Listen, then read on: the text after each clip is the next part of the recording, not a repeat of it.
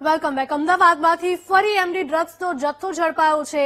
એસઓજીએ મહિલા drugs peddler સહિત બે આરોપીની ધરપકડ કરી છે. શાહ આલમ નજીક આમજા ફ્લેટમાં એસઓજીએ કરી હતી રેડ. છ લાખ સુડતાલીસ હજારના એમડી ડ્રગ્સના જથ્થા સાથે બે લોકોની ધરપકડ કરવામાં આવી. આરોપીની પૂછપરછમાં મહિલા પેડલરનું નામ ખુલ્યું છે. આરોપીઓ મહિલા પાસેથી ડ્રગ્સનો જથ્થો લાવ્યા હોવાનો ખુલાસો થયો છે. એસઓજીએ ગુનો નોંધીને મહિલા પેડલરની શોધખોળ હાથ ધરી છે.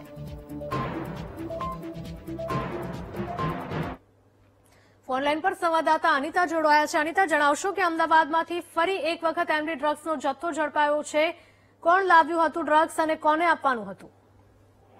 જે, ખાસ તો જે પ્રકારે સાલમ નજીક જે અમજા ફ્લેટ આવેલું છે ત્યાં એક મહિલા જે ડ્રગ પેડલર છે તે ડ્રગ્સનું વેચાણ કરી રહી હોવાની બાતમી એસઓજીના પોલીસ કર્મચારીઓને મળી હતી. જે બાતમીના આધારે એસઓજીની એક ટીમ જે હતી તે સાલમ નજીક અમજા ફ્લેટના પાંચમા માળે રેડ કરી હતી. એ રેડ દરમિયાન પોલીસે જે એમડી ડ્રગ્સના જથ્થા સાથે એક મહિલા પેડલર શાહીન બાનુ સૈયદ અને આમિર ખાન પઠાણ નામના બે આરોપીઓની ધરપકડ કરી છે. તેમની પાસેથી છ પોઈન્ટ સુડતાલીસ લાખનો એમડી ડ્રગ્સનો જથ્થો પણ જપ્ત કરવામાં આવ્યો છે. આ આરોપીઓ રામોલની જે સિરીનબાનુ શેખ છે, તેની પાસેથી આ જથ્થો ખરીદીને લાવ્યા હોવાનું સામે આવ્યું છે.